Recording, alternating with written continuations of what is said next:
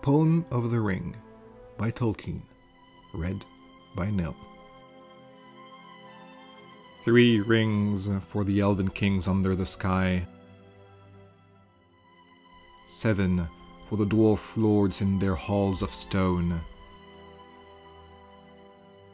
Nine for mortal men doomed to die. One for the Dark Lord on his dark throne in the land of Mordor where the shadows lie. One ring to rule them all, one ring to find them, one ring to bring them all and in the darkness bind them in the land of Mordor where the shadows lie.